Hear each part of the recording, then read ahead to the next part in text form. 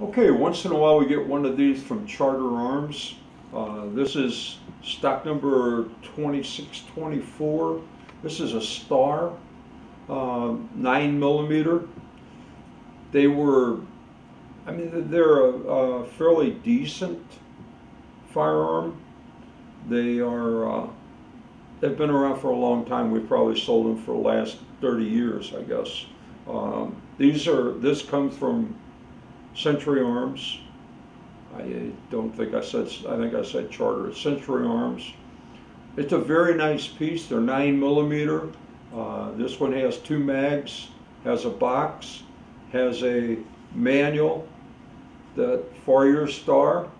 Okay, so you can uh, take this and uh, read all about the star. It's uh, manufactured in South America. They've been around for a long time. They're economical and they're uh, very dependable. So they're much like the 1911 in configuration. This one looks like the barrel was replaced, has a fixed guide rod in it. There's really nothing I can see that's uh, that would distress me about it. The hammer looks good, so on and so forth. And I can pretty much guarantee it'll last for a long, long time. it has a cleaning rod with it um, so that you can clean it.